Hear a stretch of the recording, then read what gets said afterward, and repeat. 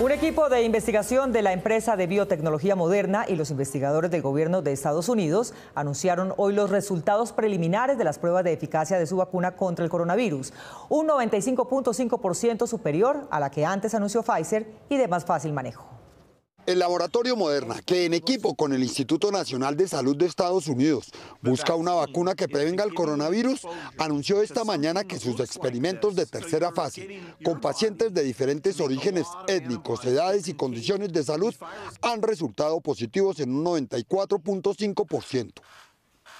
Frente a la vacuna de los laboratorios Pfizer y BioNTech, cuyos resultados fueron anunciados más temprano esta semana, la de Moderna y el NHI se dice que será más fácil de administrar porque se conserva estable a menos de 10 grados centígrados y no a 40 como la vacuna inglesa. Los experimentos de la vacuna de Moderna tuvieron como organizador, entre muchos, al director del NHI, Anthony Fauci, cuyas conferencias fueron suspendidas por Donald Trump, pero ahora hace parte del equipo de COVID del presidente Joe Biden.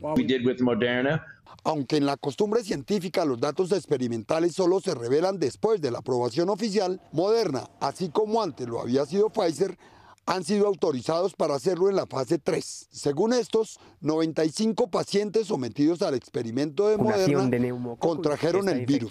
Cinco de ellos habían sido inoculados con la vacuna y 90 que lo habían sido con una solución salina. Los cinco enfermos vacunados apenas tuvieron síntomas. Fauci informó que el grupo eficaz frente a la vacuna no tiene diferencias de etnia, ni condición física ni edad. El siguiente paso es la prueba masiva. Ahora en un colectivo más grande se espera encontrar los mismos resultados y su aprobación oficial, para que pueda comenzar a ser administrada, según estiman sus fabricantes, en el tercer trimestre de 2021.